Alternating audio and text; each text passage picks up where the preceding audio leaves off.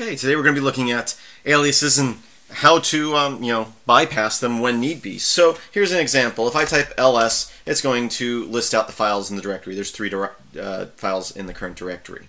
Now let's say I like this command and I use it often. ls-l h a. That's um, the list view, human readable, and all, I believe. I hit that, it's going to give me a view like this, which gives me a lot more information on the files. Let's say I, I want to use that as my default ls command. I can say alias ls equals, and inside single quotes or double quotes, I can say ls and give it those uh, functions. Now if I type ls here, uh, you can see it runs that command. So, uh, well, I have different settings in my bash rc file, so I lost my color settings in there, but that's that's not uh, what we're talking about today anyway. So now, anytime I type ls, it's going to run that full command. But let's say I have that set, but now I do want it to just display the file names. Yeah, do I?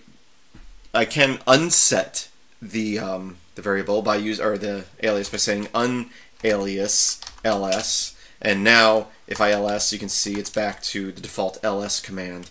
Uh, but let's go ahead and re-enable it.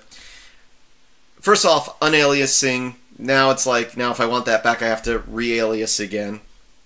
And un unaliasing also un only unaliases it for um, the current session. So if I start up a new session of bash and that alias is in my bash RC file, it's going to be re-enabled in the next session. All I want is to be able to quickly, you know, I always want it to be like this, but occasionally I want it to be the old way. Well, there's a few different ways to do that. First way, so ls does this, but if I wanted to use the default ls command, I can give it the full path to the ls command. Uh, well, I, for, I can use the command command, which we've talked about in the past. I can say command, uh, command, I can say command ls, and it's going to run the actual ls command, not our alias. Uh, and then uh, the ls command can also be, that's a little bit long. What is what I'm trying to say? I'm sorry. I'm losing my train of thought. Typing the command is a little bit long, so there's other ways. You can also put the ls command in double quotes or single quotes. See, again, if I do it without those, it prints it the long list. Another option, that's probably the easiest, is to backslash ls.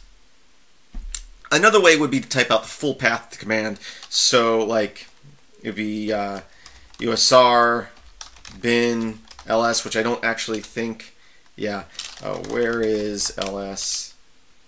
Uh, so let's do bin ls. So I could do that. I could type out, I, if I knew where the, the command was, and it's either going to be usr bin ls or bin ls, uh, it's going to be in one of those folders. Could, could be somewhere else as well. Um, so again, I have this alias set. I just want to temporary just this one time, bypass it. I can backslash it. I can put it in quotations, single or double. I can type command ls, or I can type out the full path to the command so it avoids the alias. And again, you can unalias it, which turns it off for this entire session, uh, but if it's in your bash RC file or, or Z shell RC file or whatever, it's going to be re-enabled the next time you start a new shell. So keep those in mind. Thought you might find that useful because aliases are great, but sometimes you want to go back to the default command. And I, I personally think just the backslash would be the easiest. So, thank you for watching. I hope that you enjoyed this video. Please visit my website, filmsbykris.com. That's Chris the K. There's a link in the description of the video. Uh, please check out my website. Search through all my videos. Find what you're looking for. I have thousands of videos. You can also support me, patreon.com forward slash metalx1000 or through PayPal. Support section on my website there. So I thank you for watching. Please visit filmsbykris.com and I hope that you have a great day.